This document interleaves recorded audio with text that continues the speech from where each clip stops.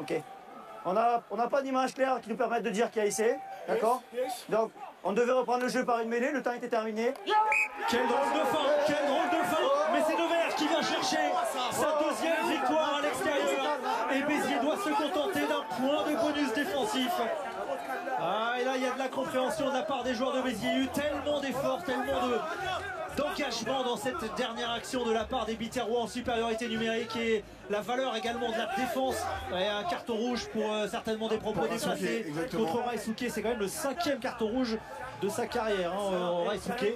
Mais en tout cas, il y a de la confusion en cette fin de match, mais il y a surtout la victoire à l'extérieur de.